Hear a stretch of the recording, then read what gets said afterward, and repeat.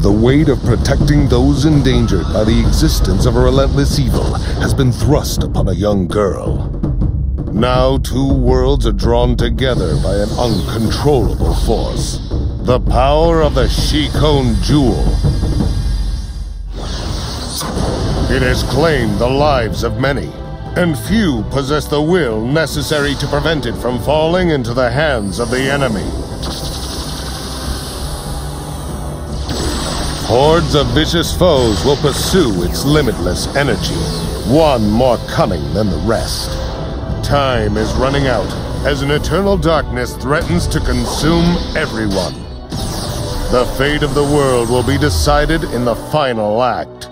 Inuyasha, the final act.